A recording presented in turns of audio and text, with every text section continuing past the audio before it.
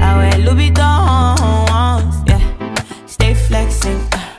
get better and move on to the next one, yeah. No pressure.